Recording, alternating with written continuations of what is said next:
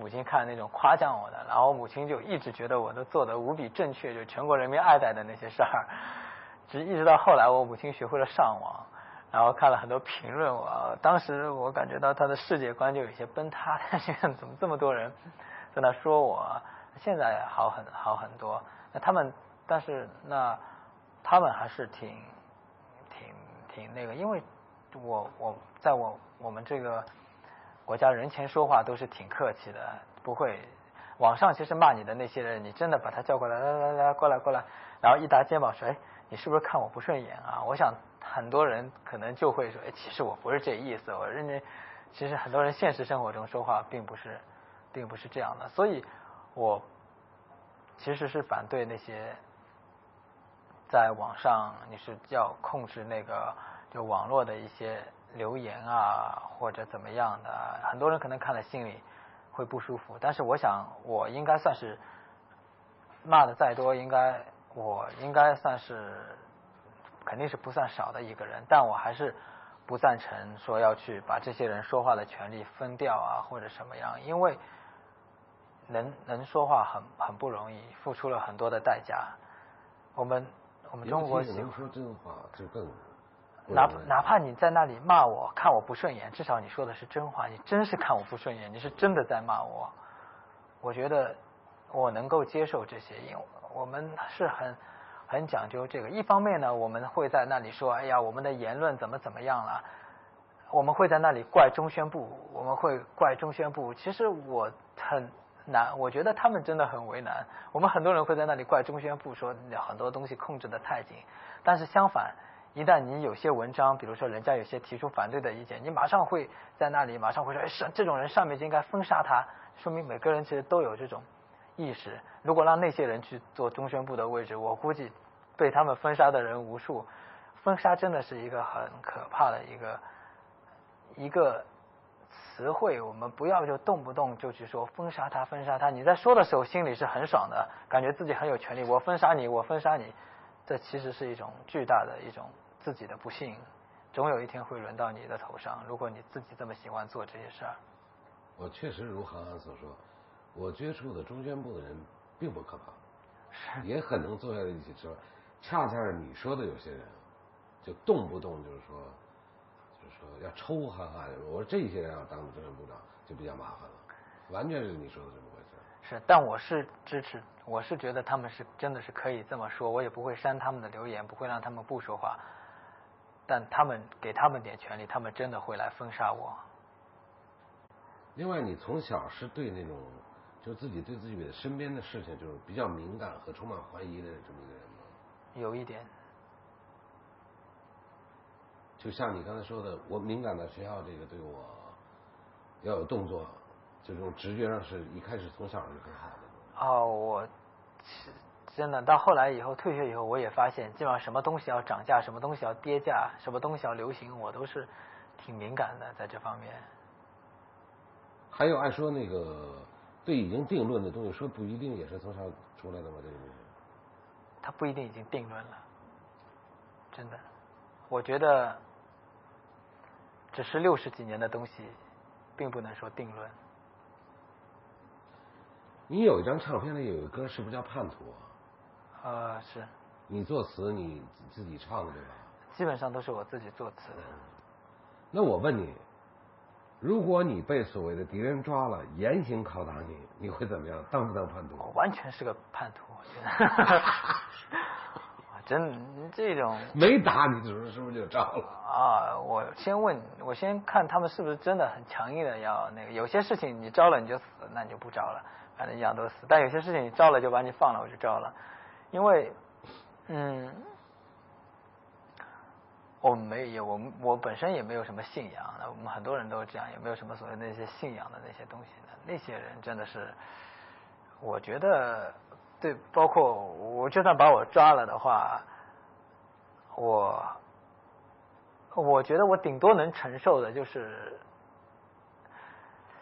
就是就是怎么怎么说？反正我肯定底底线挺低的。我觉得我这人真的，我我以前我有一朋友。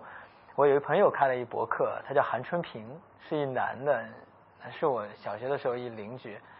呃，就是我现在的一个邻居，但是呢，我们好多的网友都管他叫现代版刘胡兰，因为他的博客的那个签名就是你们死，你们不要问我韩寒的电话号码，死我也不会说的，打死我也不会招供的。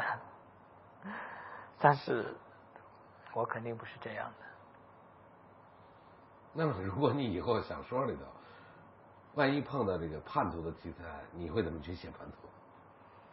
我觉得不存在所谓的叛徒不叛徒，我觉得只要你忠于自己的内心就行了。你你去那里，嗯，满世界的说言不由衷的话，那就是叛徒。而你忠于自己的内心，你真的被打的受不了了，我只想舒服一点。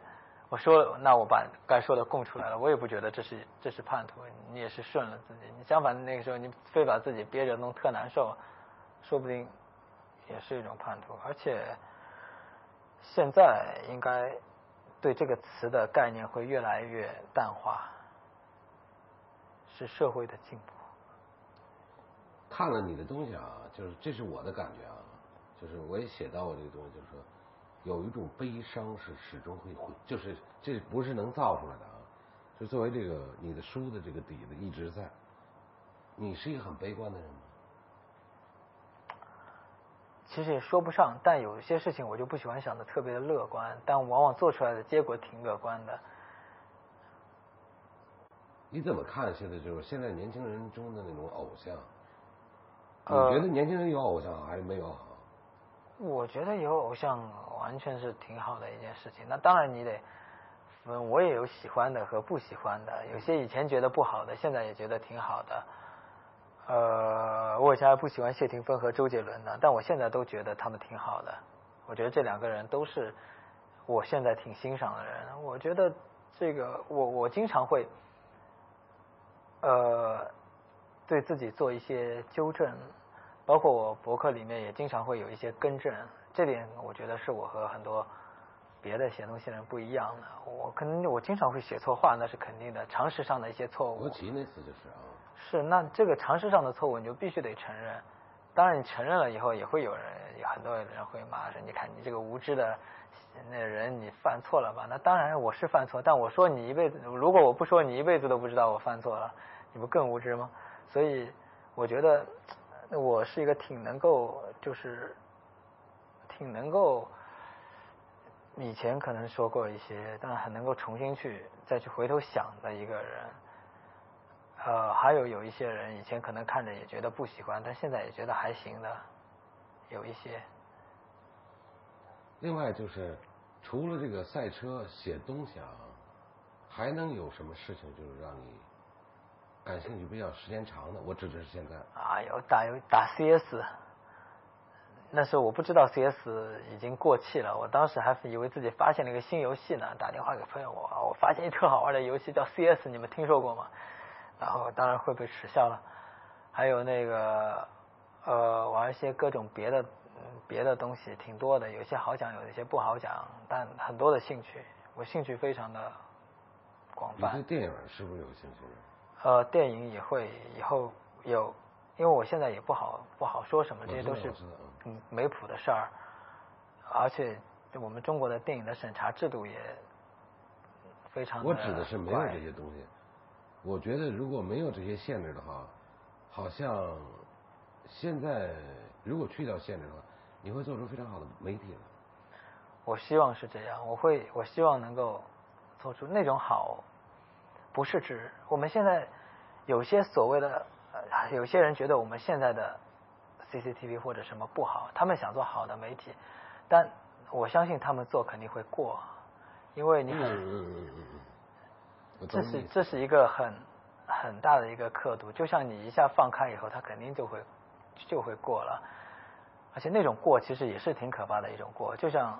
我以前原来的 CCTV 一样的，对，就是那就变成另一种 CCTV，就像我说，因为人民总是很愚蠢的，但是，嗯，我只是希望更公正和有趣，更加的有有意思。哪怕你现在哪怕专门做一报纸，专门做一媒体，专门自己编新闻的呢，都一样。包括我觉得有限，如果限制会少一点的话，我也会去。嗯，因为也有也有一些地方可以得到钱，也可以去拍电影，我肯定会拍出很好的电影。但是，我觉得拍电影最关键、最关键的事情，不是要表达自己内心的想法，这是排在第二的。什么意思？嗯，如果我去拍一部电影，第二的是你想拍什么，拍的好不好，什么内容，这些都是第二的。排在第一的就是要让投资方收回钱。他们投了你的钱，看得起你，必须不能让他们亏钱。所以我觉得，但在现在的我这个电影的审查制度下，我觉得挺难的。我我觉得我嗯嗯，一旦收不回钱或者出一些什么问题的话，我我无所谓，我可以去赛车，我写东西一样。但是就是会心里有一些内疚。